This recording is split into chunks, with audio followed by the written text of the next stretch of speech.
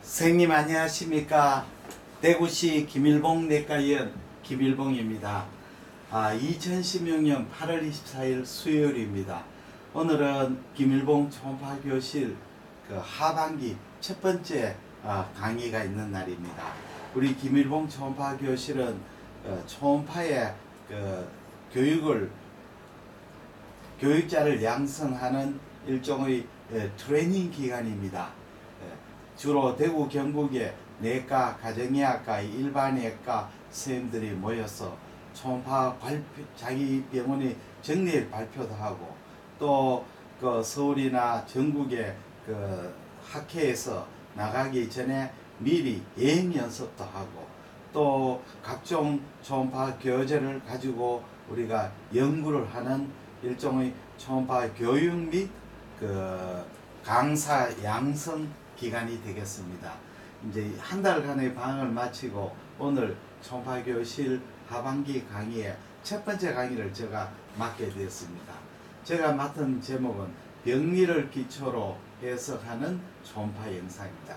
우리가 초음파 영상을 볼 때 그냥 막연하게 보는 것이 아니고 이 영상이 왜 이렇게 나왔을까 그 근본을 아는 겁니다. 결국은 우리가 영상의학, 아니 CT, 초음파, MRI 이건 전부 다 그림자를 보는 거죠. 실체를 보는 게 아니고 실체에서 나오는 그림자를 보고 실체를 추절하는 겁니다. 그래서 거꾸로 우리가 이제 실체를 알게 되면 어, 영상을 알 수가 있게 되겠습니다. 우리 김일봉 초파 교실에 참여하신 선생님인 이제 강사분이 굉장히 많습니다만은 주니어하고 시니어로 구별됩니다. 시니어 선생님은 이제 저하고 이재준, 박선호, 김대현, 강태경, 김대진, 조규현, 김창수 이런 선생님들은 아주 강의 경험이 굉장히 많습니다. 예. 그리고 이제 새롭게 이제 그 밑에 주니어급으로서 손준혁 선생님을 비롯해서 또 새롭게 강사로 입문해가지고 어, 그 경험은 아주 많지는 않습니다만 앞으로 우리 시니의 대를 이어서 또 맹활약을 할 선생님들이 에, 계십니다. 그래서 오늘 첫 번째 강의라서 제가 어, 시니어 선생님이 아닌 주니어 선생님들을 위해서 어, 저희 작은 지식을 이쪽에서 발표하고자 합니다.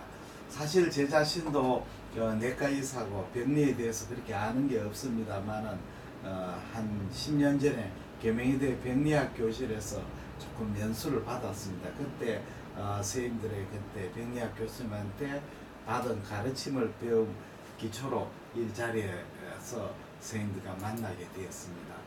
그러면 초음파는 무엇인가에 대해서 먼저 시작하겠습니다. 인간이 들을 수 있는 가정 주파수는 20에서 2만 헤르츠고 이보다 더 높은 주파수 사람이 들을 수 없습니다. 그래서 어, 초음파, 울트라 사운드라고 합니다.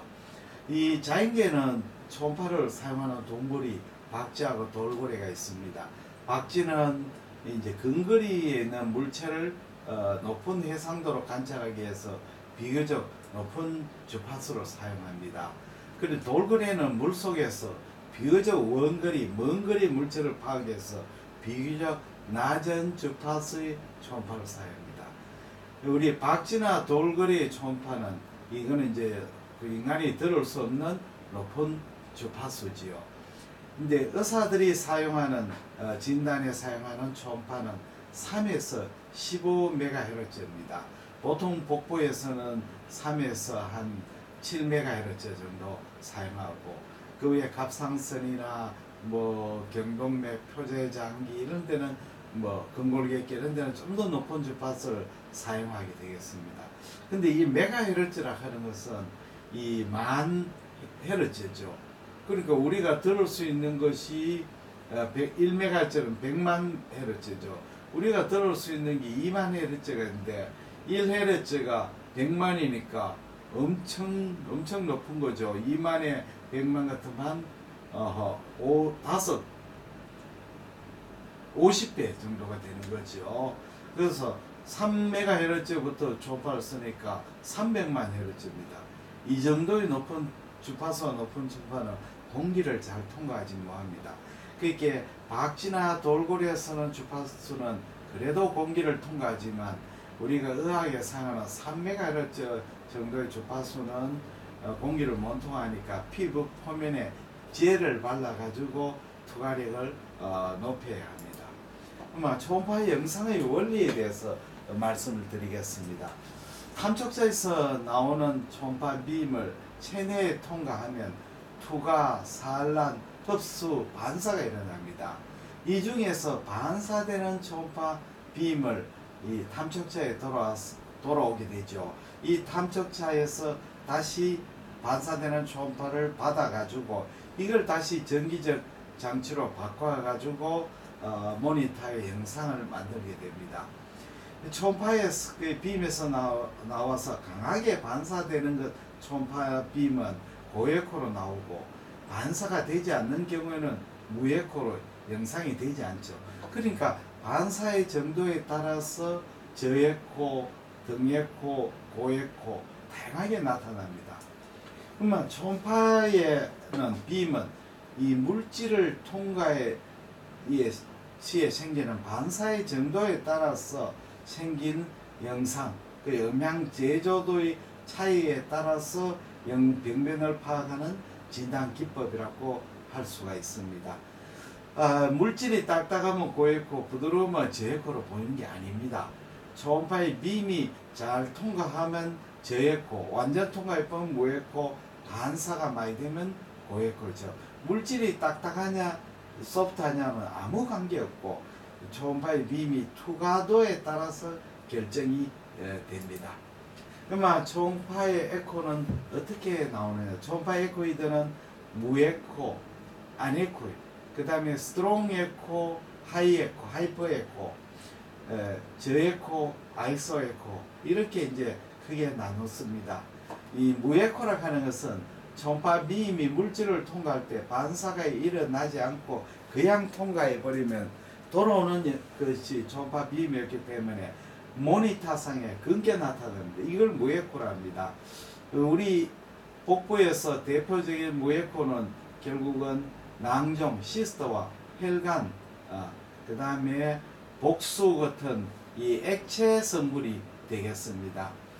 그래서 무에코 병변 이야기에서 간 낭종을 어, 대표로 하면 설명해 드리겠습니다.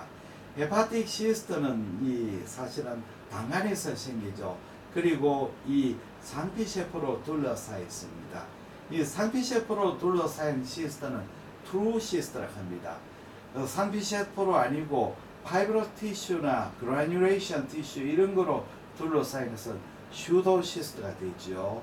이 pancreas에서 생기는 pseudocyst는 이 pancreatic juice가 나와가 이걸 둘러싸는 어 서 생기는 cyst가 pancreatic pseudocyst입니다.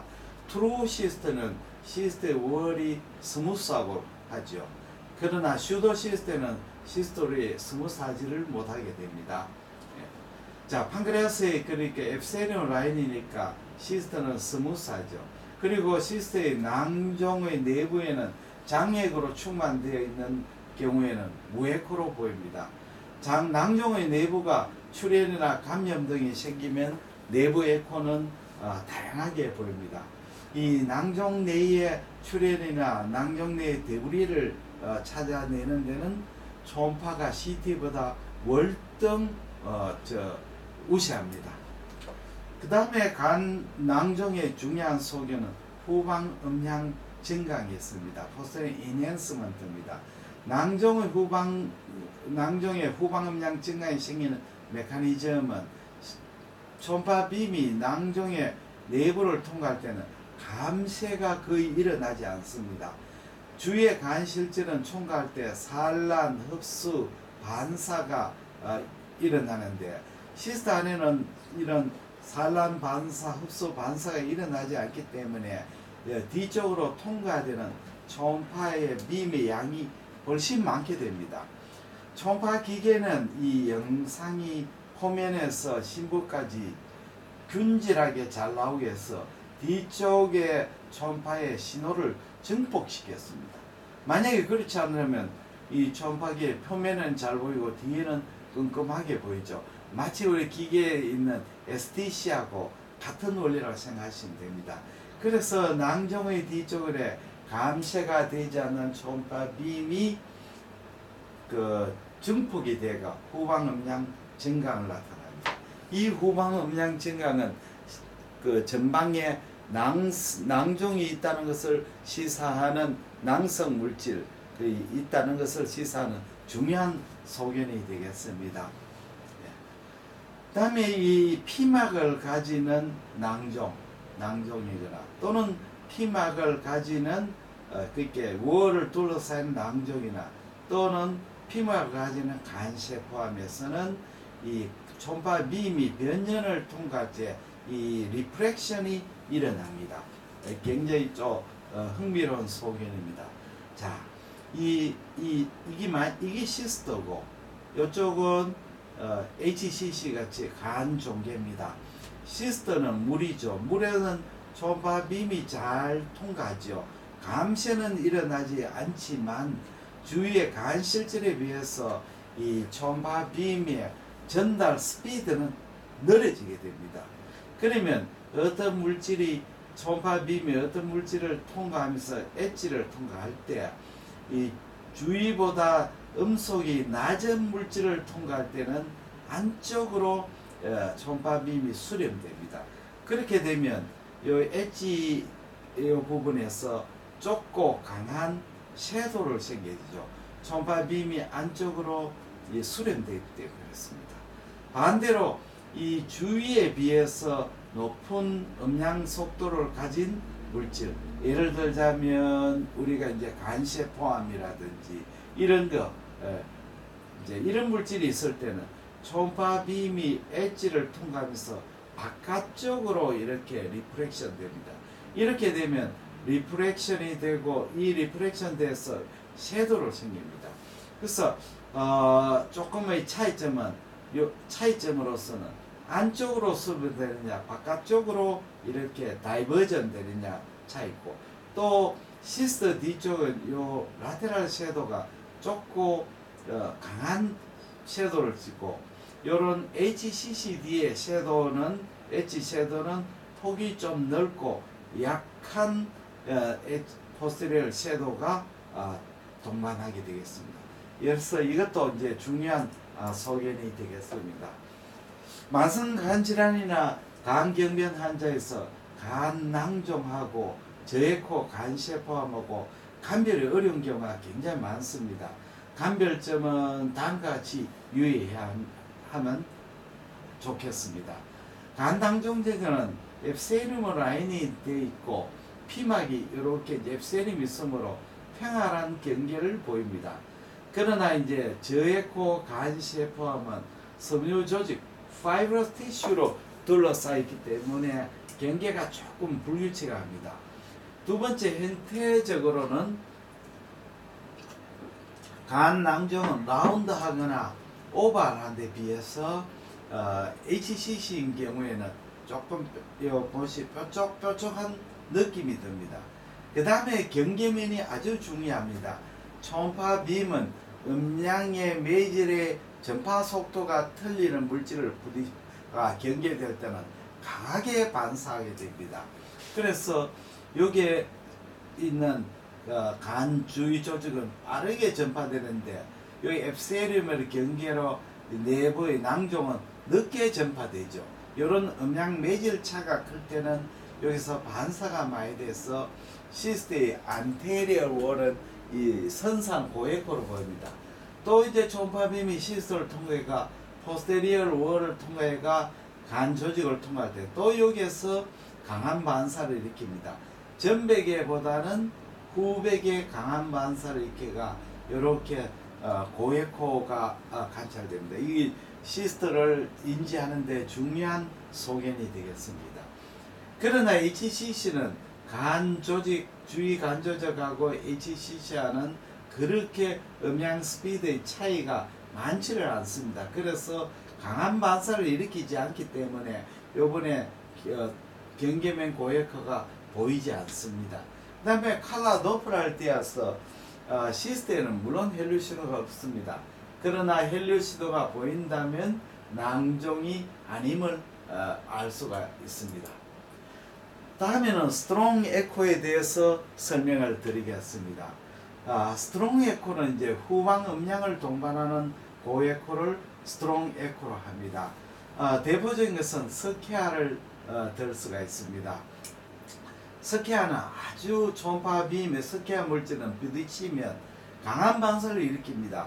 그래서 표면에 강한 고에코를 나타나고 그 다음에 초음파 빔이 이 스케아를 통과하면서 산란 흡수를 일으켜 가지고 후방으로 오는 어, 초음파 빔이 나가는 후방 빔이었기 때문에 에, 저, 선명한 후방 음영을 어, 나타납니다.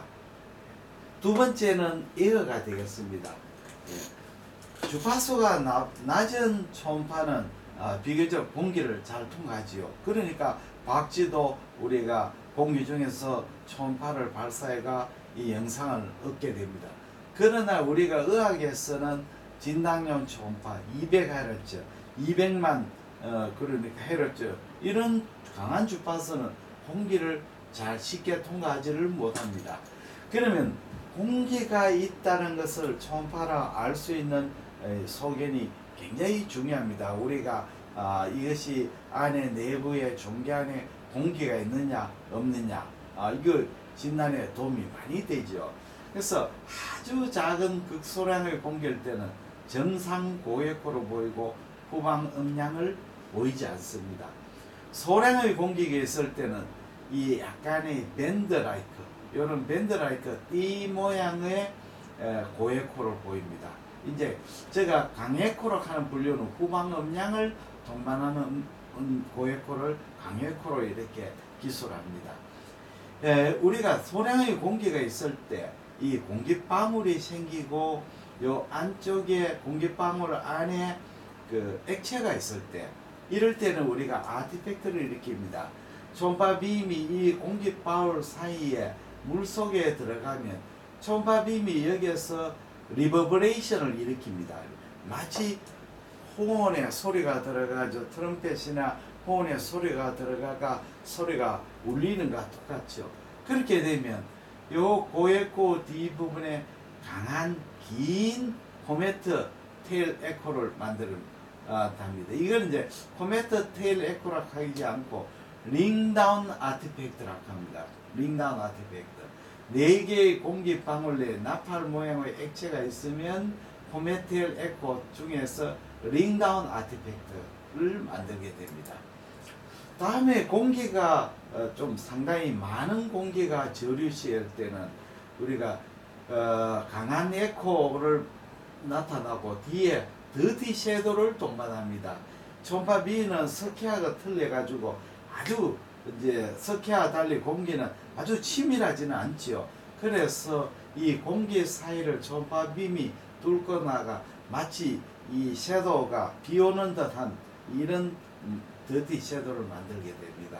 우리 초음파에서 이제 담낭 결석이 있고 담낭 콜레스테롤 결석이 있으면 뒤쪽에 크리한 섀도우를 보이고 뒤 옆쪽에는 장관이 있으면 장관의 가스에 의한 더티 섀도우를 보이는 경우가 많습니다.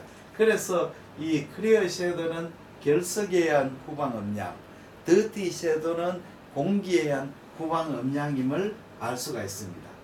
이 대량의 공기가 이 장관이나 colon이나 이런 데 있을 때는 초음파 빔이 이 공기와 부딪히고 다시 복벽하고 부딪혀가 reverberation artifact를 일으킵니다. 이렇게 공기가 보이고 이 같은 기- 공, 뒤쪽에 반향의상, 반향의상, 반향의상 이렇게 나와 reverberation artifact가 관찰되는 수가 있습니다. 이러한 소견들은 이 공기가 있다 하는 걸 시사하는 중요한 초음파의 힌트가 되겠습니다. 예, 그럼 오늘 첫 번째 강의에 첫 번에 어, 강예코 어, 예, 무에코 강예코에 대해서 어, 선생님들 같이 이야기했습니다. 제가 막간 광고를 하나 해 드리겠습니다.